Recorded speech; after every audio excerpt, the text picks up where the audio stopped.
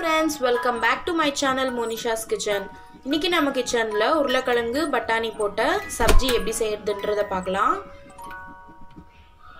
ஒரு கடாயில் ரெண்டு டேபிள் ஸ்பூன் ஆயில் விட்டுக்கோங்க.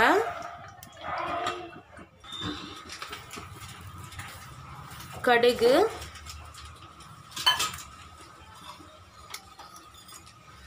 சீரகம்.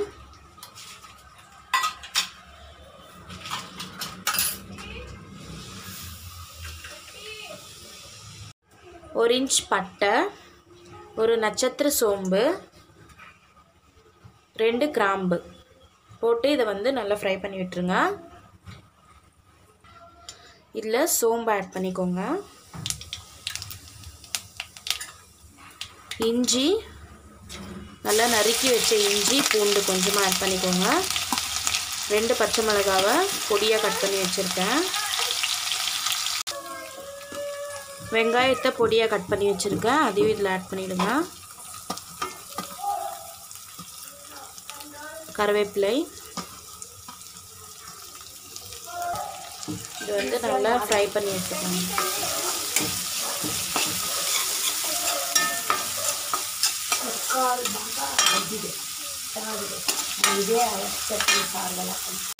இது வந்து நல்லா ஃப்ரை பண்ணிக்கோங்க. இந்த ஸ்டேஜில் நீங்கள் கொஞ்சமாக சால்ட் ஆட் பண்ணிக்கோங்க. கொஞ்சம் சால்ட் ஆட் பண்ணிங்கன்னா தான் வெங்காயம் நல்லா வதங்கும்.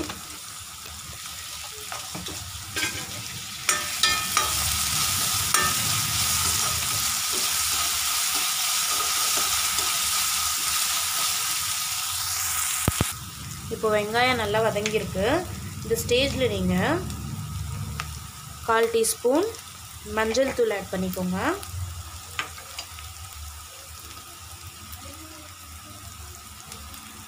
அரை டீஸ்பூன் கரம் மசாலா.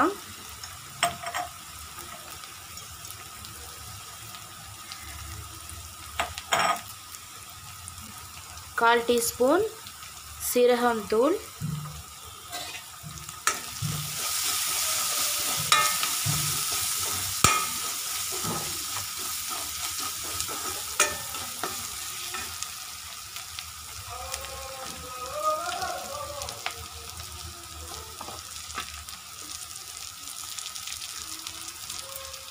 மிளகாய் தூள் அரை டீஸ்பூன்.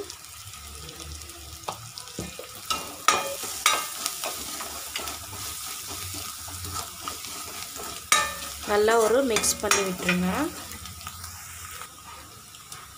இப்போது ரெண்டு தக்காளியை பொடியாக கட் பண்ணி வச்சுருக்கேன். அதையும் இதில் ஆட் பண்ணிவிடுங்க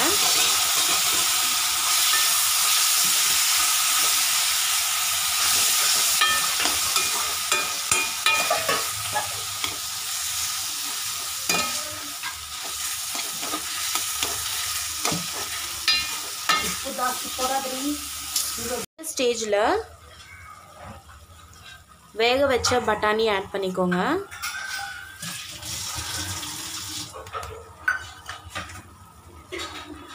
நாலு உருளைக்கிழங்க நல்லா வேக வச்சு இந்த மாதிரி குட்டி குட்டியாக கட் பண்ணி வச்சுருக்கேன். அதையும் இதில் ஆட் பண்ணிவிடுங்க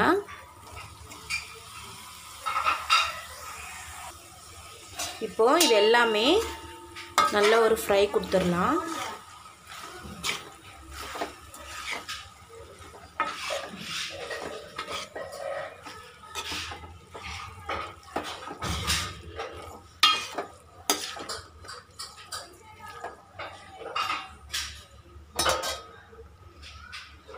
கொஞ்சமாக கொத்தமல்லி ஆட் பண்ணிக்கோங்க.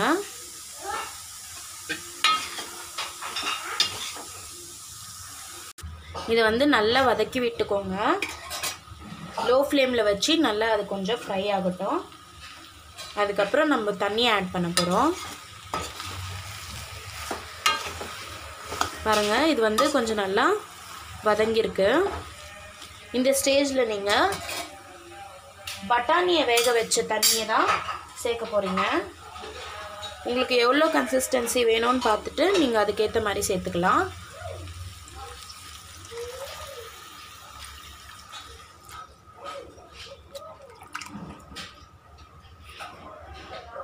தண்ணி ஆட் பண்ணிவிட்டு இதை நல்லா கொதிக்க விட்டுருங்க.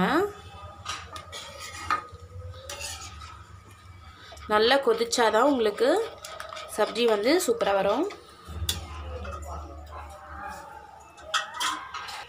இந்த ஸ்டேஜில் நீங்கள் கால் டீஸ்பூன் பெப்பர் ஆட் பண்ணிக்கோங்க. ஆட் பண்ணிவிட்டு இதை வந்து நல்லா கலந்து விட்டுருங்க. ஒரு ஃபைவ் மினிட்ஸ் நல்லா கொதிக்கிட்டோம். அதுக்கப்புறம் சப்ஜி வந்து ரெடி ஆகிடும் இதை ஒரு பிளேட் போட்டு மூட வச்சுருங்க. பாருங்கள் இப்போ சப்ஜியெல்லாம் நல்லா கொதிச்சிட்ருக்கு. எங்கள் வீட்டில் கெஸ்ட்லாம் வந்திருக்காங்க. அதனால் எங்களுக்கு நிறைய வேணும். அதனால் நிறைய தண்ணி ஊற்றிருக்கேன் உங்களுக்கு எப்படி வேணுமோ அப்படி நீங்கள் செஞ்சுக்கலாம். கொஞ்சம் கட்டியாகவும் செஞ்சுக்கலாம் கொஞ்சம் தண்ணியாகவும் செஞ்சுக்கலாம்.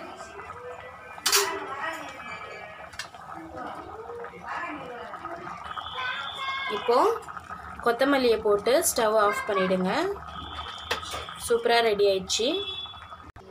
பாருங்கள் இது வந்து நான் சப்பாத்தி கூட சாப்பிட போகிறேன் ரொம்ப டேஸ்ட்டாக இருக்குது உருளைக்கிழங்கு சப்ஜி வந்து சூப்பராக ரெடி ஆயிருக்கு. இது வந்து நீங்கள் தோசை சப்பாத்தி பூரி இது கூட எல்லாம் சேர்ந்து சாப்பிட்லாம்.